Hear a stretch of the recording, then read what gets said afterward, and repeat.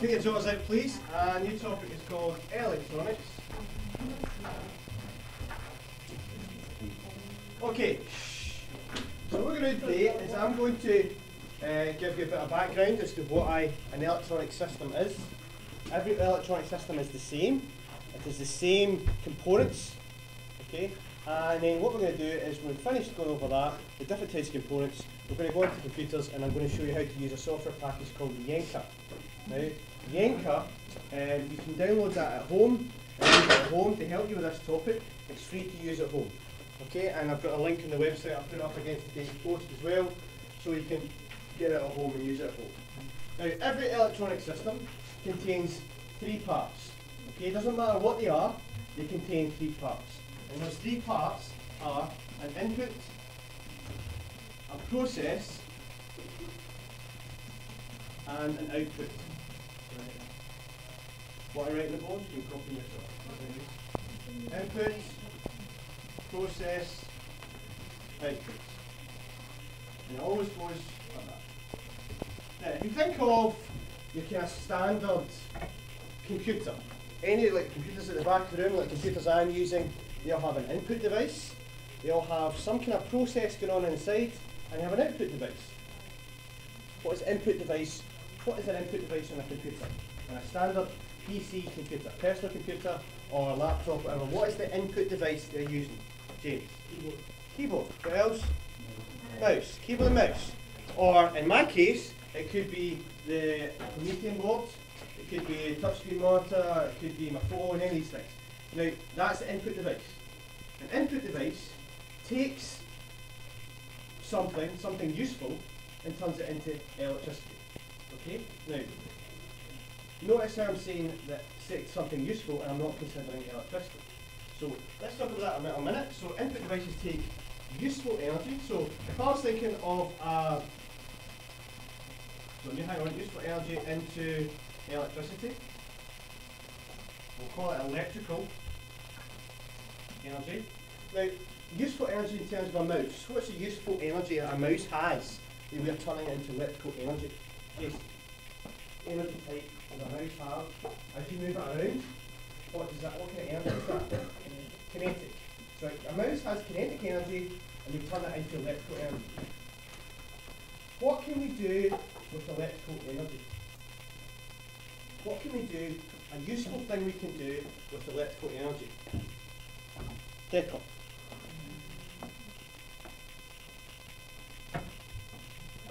No, no. No idea. Give me something that has electrical energy then. And is it useful? Mm-hmm. A radio. So does a radio use electrical energy? Mm-hmm. Do what? Play music. What? Play music. Well, mm-hmm. in terms of a radio, it has a transmitter and a receiver. The receiver takes the radio waves and turns it into electrical energy.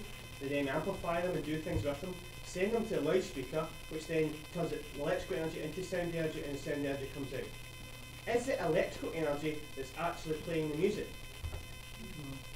No, it's not. Think of something more basic. Let's think of a toaster. Okay? Take a toaster, toaster's plugged into your wall, take a piece of bread, you put it in the toaster, you push the switch down. Does the electrical energy make the bread turn into toast, Liam? No. What does The heat. the heat? The heat's the part that turns it into toast. It's not electrical energy, but that's an electrical component. That's that's a piece of electronics. The bread in the electrical energy is getting turned into heat energy. Okay? So electrical energy on its own is not useful at all. It's good at transporting energy around the country.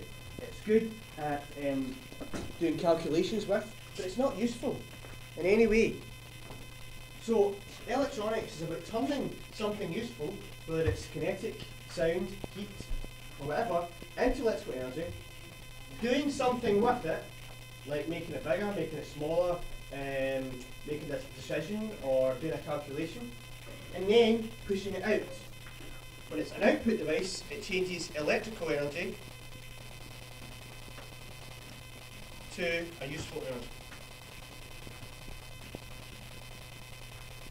And in between here, we've got something doing calculations, or it could be uh, amplifying it, or it could be um, transporting it. Any of these things, that's the process part. The thing about a computer, you've got an input device, where it's a mouse, a keyboard, you have a processor, which processes information. You've got lots of other things in there. You've also got your memory and everything, your hard drive, but the end of the day, it's a processor which is processing information, and you have your output devices. What are output devices for a computer PC? Stuart. Output device for a computer. Martha. What's the energy change in a motor? This Stuart. Energy change. Electrical to light, good. Electrical light is an energy change. You've done all these and you're using electricity. You know the energy changes. So an output device takes electrical energy and turns it into something useful that we can use every day. Okay? So three types. Input device, process device, output device. We're going to look at a selection of input devices. We're going to look at a selection of output devices, and we're going to look at process devices in the middle. Man. Ah. So, the first thing we look at is output devices, and we're going to look at output devices today. But before we do that, we can classify all three of these into two separate subgroups. Okay? Those subgroups are analog and digital. Okay? So, two different subgroups. Let's look at the first one first. We have analog.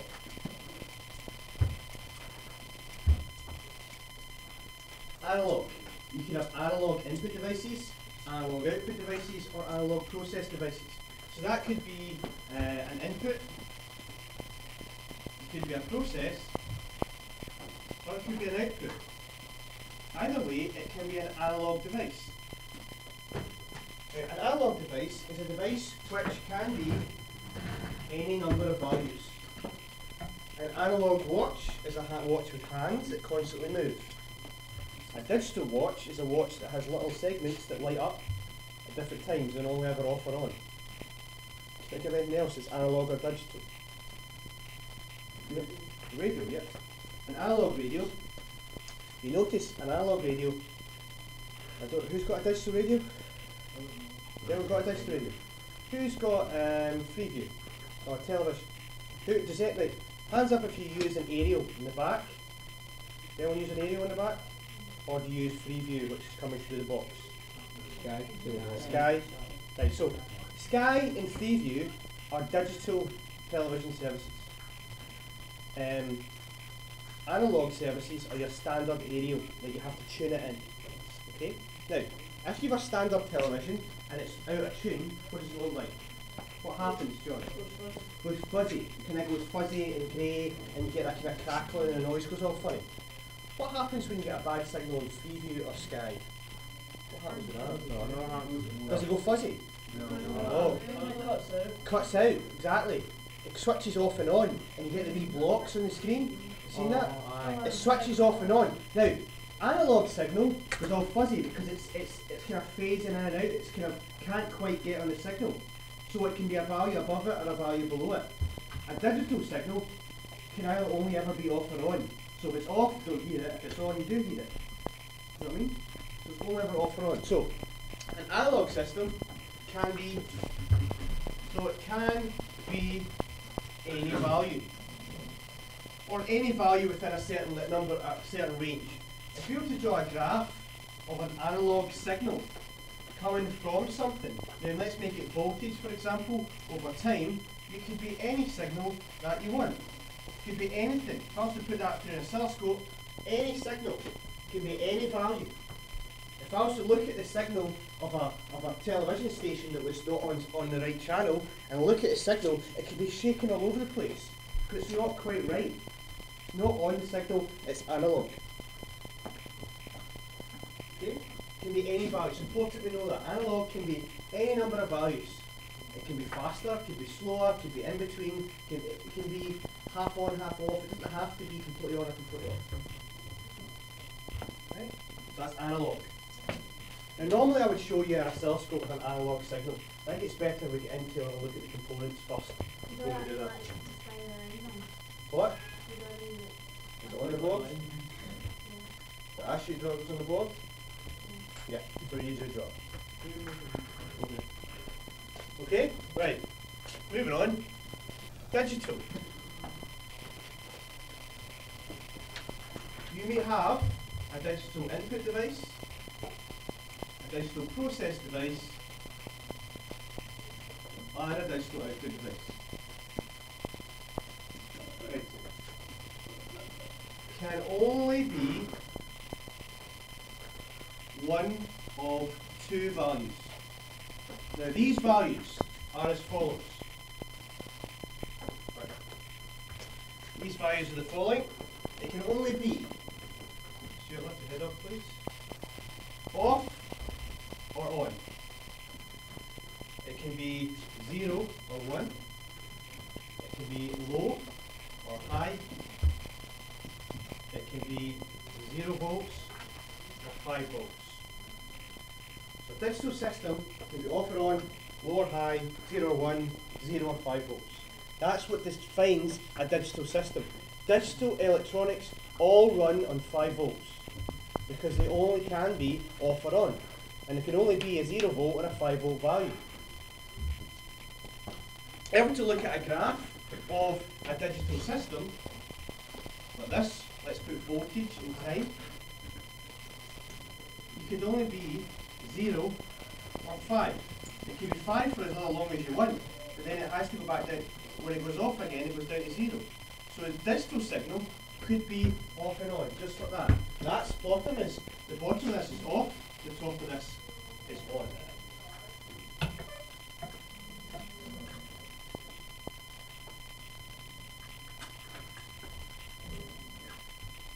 Okay, now we're now going to look at output devices and have a look at the Yenka program.